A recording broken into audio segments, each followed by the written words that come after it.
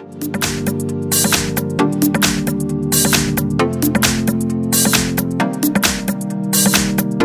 I have Sony Xperia L3 and let me show you how to activate safe mode on the following device.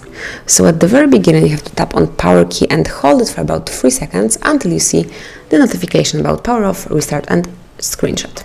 And now tap on power off icon and hold it for about 3 seconds. And now as you can see you'll see the notification about rebooting to safe mode. If you want to do it just tap on OK.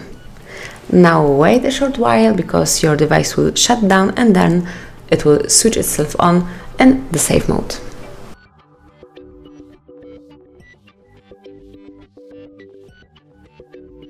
And now you can use your device in safe mode. As you can see here is the notification that you are using your Sony in safe mode.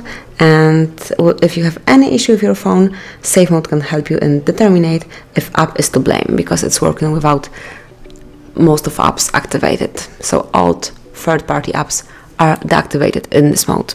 So once you see that your device is working properly or not, you can go back to the normal to the standard mode by tapping on power key, hold it for a while and then tap on restart. Now just wait until your device will shut down and then it will turn on in the standard mode with all apps available.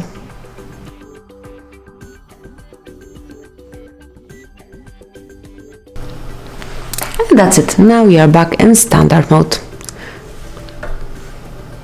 And you can use your device with all app active.